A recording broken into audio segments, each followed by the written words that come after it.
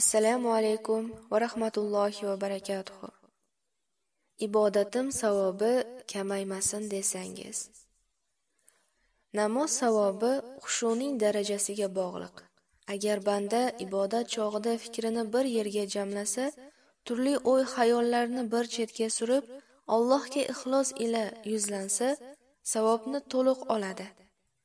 Aks holda ibodat ajri nuqsonli bo'lib qoladi. Ammor ibn yosir roziyallohu anhu rivoyat qiladi.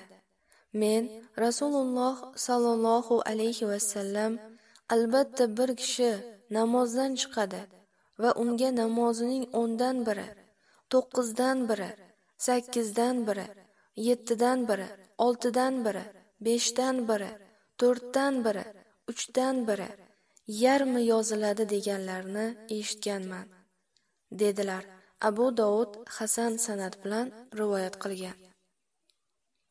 Namoz bilan namozning farqi bor. Kimningdir namozi to'kis ado qilinadi.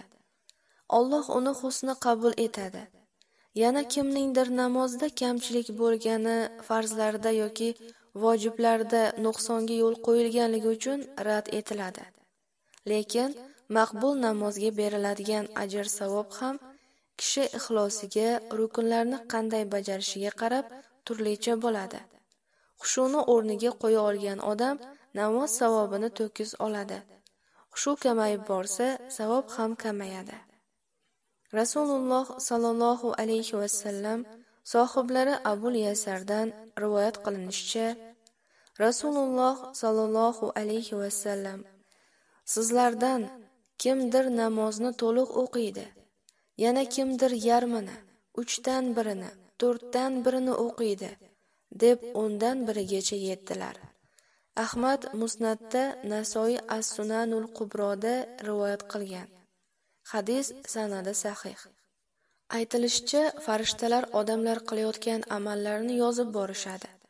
Falonchi namozning to'rtdan birini kamaytirdi ya'ni nuqsonli qildi. Falonchi yarmini kamaytirdi. Falonchi esa shuncha ziyoda qildi deyishadi. Namozxon qanday namoz o'qiyotgani farishtalar tomonidan nomai amoliga yozib boriladi. Shuning uchun erta qiyomat kuni yuzim yorug' bo'lsin degan inson namozni vaqtida o'qiydi. Rukunlarini maromiga yetkazib bajaradi. Xushuga e'tiborliroq bo'ladi.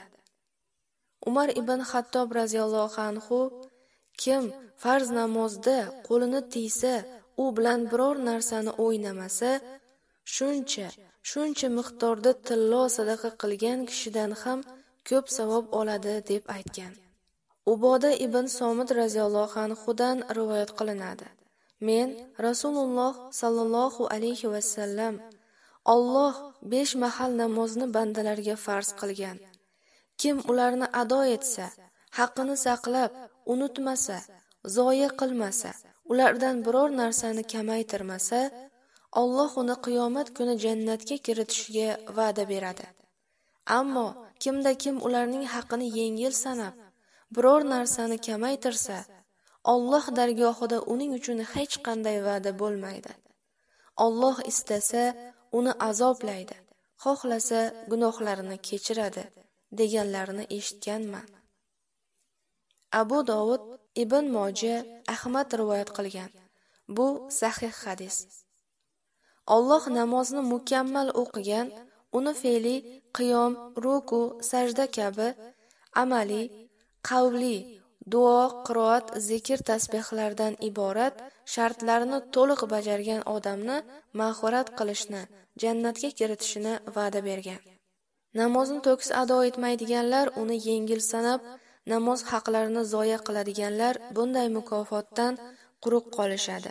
Alloh xohlasa ularni azoblaydi, xohlasa rahmati ila kechirib yuboradi.